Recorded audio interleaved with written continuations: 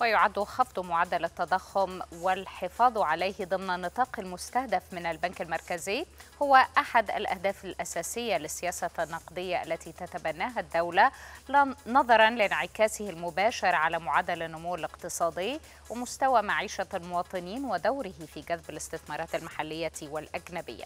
وهو ما نجحت الدولة في تحقيقه رغم جائحة كورونا وتداعياتها السلبية على مختلف اقتصادات العالم لمزيد من النقاش حول هذا الموضوع ينضم إلينا على الهواء مباشرة الأستاذ حسام ناصر المدير الإقليمي للبنك العقاري العربي المصري بالأردن سابقا أهلا وسهلا بحضرتك أستاذ حسام و برأيك إلى أي مدى ساهم برنامج الإصلاح الاقتصادي للحكومة المصرية في المحافظة على معدلات التضخم؟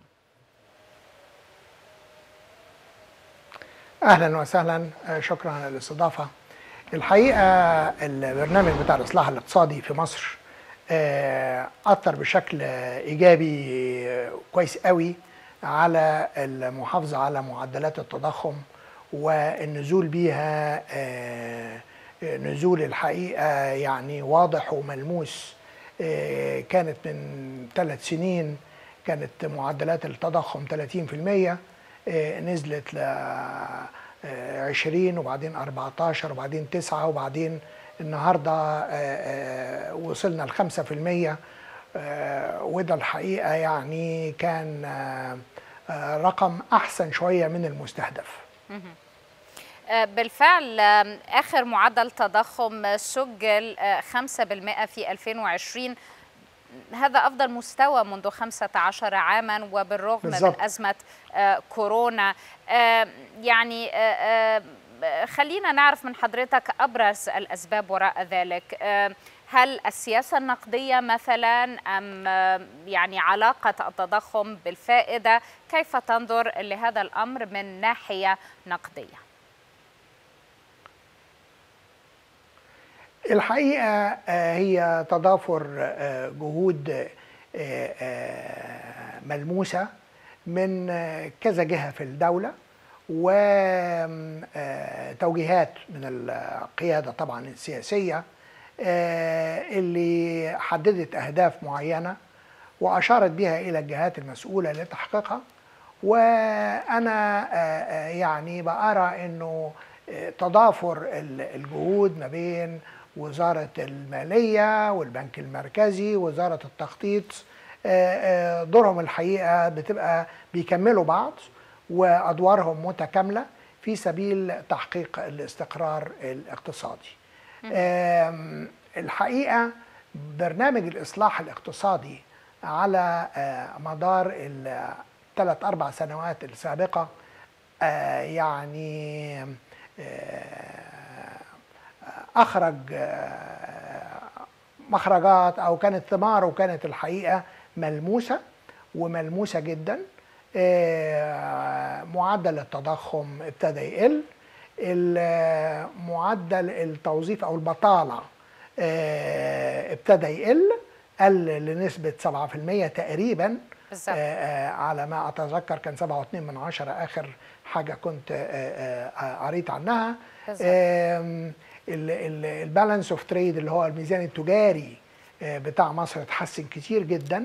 مصر بقت تعتمد على صناعات وطنية أكتر من الاستيراد.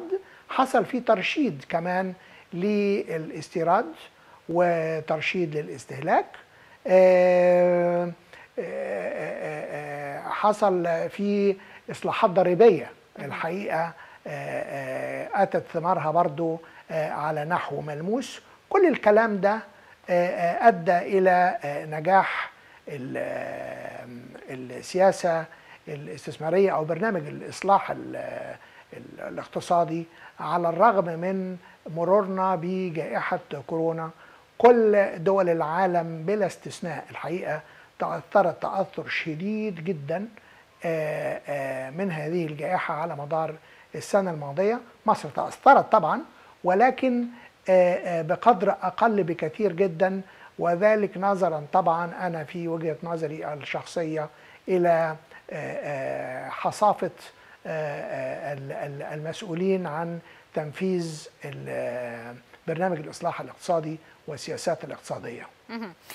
مصر حققت أكبر التراجع السنوي لمعدل التضخم بالأسواق الناشئة مقارنة بالعام السابق. يعني إذا تحدثنا بالنسب انخفض التضخم ب 4%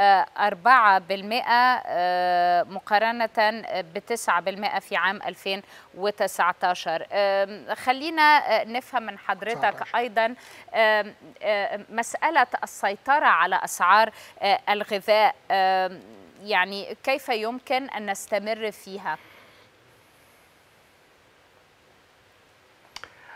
والله هو الحقيقة اللي حصل في خلال السنتين اللي فاتوا الدولة بذلت جهد جبار في عملية المحافظة على المنظومة بتاعت الإنتاج الزراعي وهي دي يمكن أحد أكبر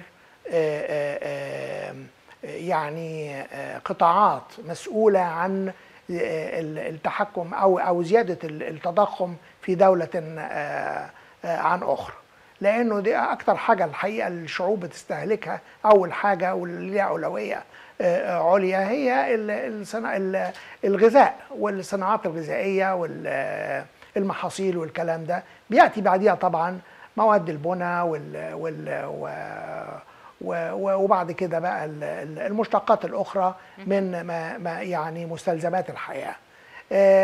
إحنا نجحنا لحد كبير كبير جدا كمان في تحسين المنظومة الغذائية في مصر.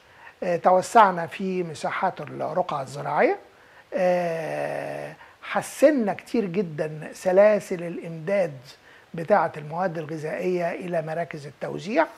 البضاعة بقت توصل أرخص. لك أن تتصوري حضرتك أن إحنا منذ أكتوبر 2019 لغاية اليوم يعني بقى لنا سنة ونص تقريبا الأسعار تقريبا في نزول مستمر. وأرشحها برضو أن هي تنخفض أكثر وأكثر على مدار الفترات القادمة. هو ده اللي أدى إلى أنا من وجهة نظري يعني الحتة بتاعت التحكم في الإمداد أو العرض بتاع المنتجات الزراعية في السوق وتواجدها في متناول اليد بأسعار أو في أسعار متناول اليد الحقيقة. يعني هو ده اللي أدى إلى استقرار الأسعار في الحتة دي وابتدت تنزل وابتدى اثرها يبان على المعدلات التضخم. لك أن تتصوري حضرتك إحنا كنا من ثلاث سنين كان معدل التضخم في سنة 17 يعني من أربع سنين مثلا معدل التضخم بعد تحرير سعر الصرف وصلنا لحوالي 30% صحيح. في سنة واحدة. بس طبعا الكلام ده مع الترشيد بتاع الاستهلاك مع خلق الوظائف بالنسبة للعماله المصرية وفتح مشاريع وتوظيف ال ال الناس أو العاطلين عن العمل. كل ده أدى الحقيقة إلى تنشيط الحركة الاقتصادية على الرغم من مرورنا بالجائحة بتاعة كوفيد أنا بشكر حضرتك شكرا جزيلا الأستاذ حسام ناصر المدير الإقليمي للبنك العقاري العربي المصري بالأردن. سابقا.